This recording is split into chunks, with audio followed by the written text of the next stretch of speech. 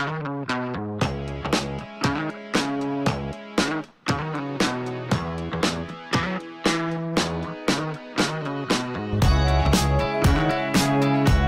to Minimix. My name is Antonio Megaro. I'm the owner of the hotel.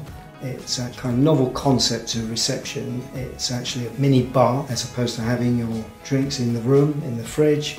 We've made a very comfortable room that you want to come and join us and have a drink.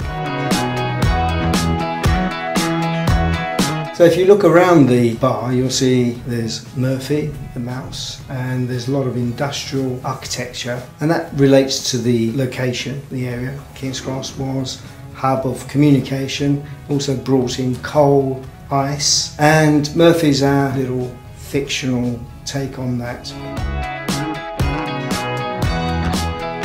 So there is a, a, kind of time machine concept to it in the sense that Murphy comes from the future, landed on the earth at the Victorian era, is now moving forward and this represents the progression into the future. This is one of only one and the intention is always to be individual. So there's no concept of rolling this out. Hospitality is about honesty and it's about being yourself. And once you start multiplying yourself, you can't be honest. So this is the only one and will be the only one.